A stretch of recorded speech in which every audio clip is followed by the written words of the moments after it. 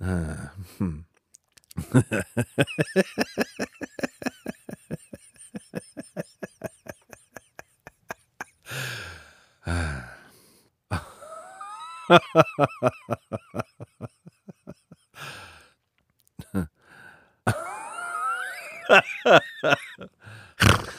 请您先认真仔细的看一看国家应急管理部从二零二一年开始每年发布过的有关新能源汽车火灾事故的内容及数据。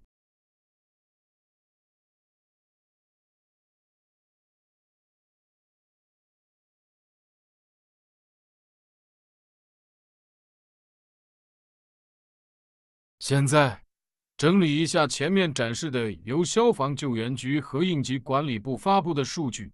虽然这些数据前后严重矛盾，但是我们可以只保留符合逻辑的部分进行计算，获得结果。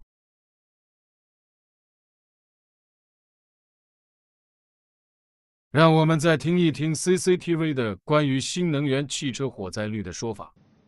我们首先找到了近三年来国内新能源汽车保有量和火灾数量。统计计算后发现，新能源汽车的火灾发生率从2021年的万分之一点八五降低到了2023年的万分之零点九六。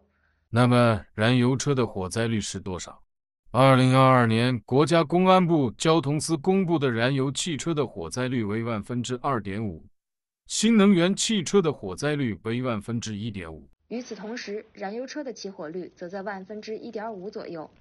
整体来看，当前新能源汽车的起火率甚至低于燃油车。CCTV 的数据显然与国家应急管理部发布的数据是完全不一样。为什么呢？CCTV 关于挪威的说法，我重新进行了验证，结果与 CCTV 不完全一致。接下来，您再听一下 CCTV 的说法。与此同时，我们也找到了国际上的公开数据。在世界上新能源汽车销量比例最高的国家挪威，汽油和柴油汽车的火灾发生率是新能源汽车的四到五倍。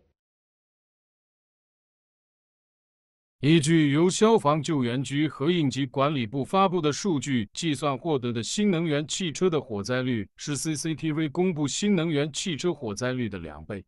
二零二二年，国家公安部交通司公布的燃油汽车的火灾率，大 CCTV 公布燃油汽车火灾率万分之一个点。新能源汽车的火灾率与 CCTV 公布二零二二年火灾率几乎持平。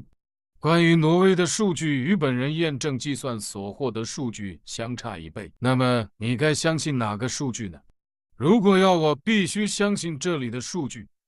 我更倾向于相信依据应急管理部发布的数据计算获得的结果，虽然这一数据也是前后矛盾，非常荒唐，极不靠谱。最后，让我们看一看日本的汽车火灾率。